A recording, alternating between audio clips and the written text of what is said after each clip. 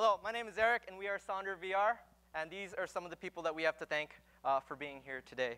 But I don't have much time, so let's just get right into it. Uh, so what do we do? Uh, well, we make virtual reality therapy experiences for people with autism so that they can learn and practice their social skills.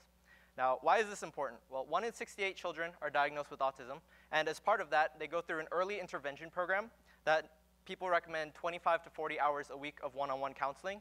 Uh, that's very expensive and time-consuming, so we thought we could use VR to help cut down on cost and time. Uh, why we chose to use VR is, one, uh, VR is a very immersive platform. Uh, number two, uh, the headsets are getting better and cheaper. And number three, you can do it at home by yourself. So what we did was we started with our mentor's book, The Social Compass Curriculum. Uh, it's a lesson plan to teach social skills.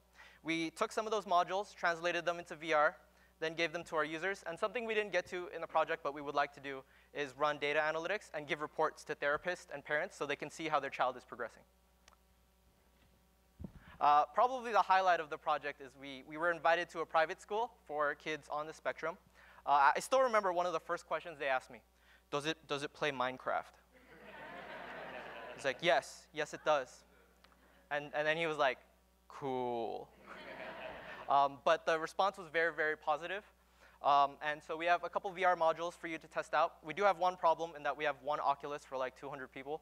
Um, so we did, if you don't want to wait, uh, we exported the VR comic into, onto the web and also made a very, very small Google Cardboard experience, so you can try that out as well. So come check us out, and thank you very much.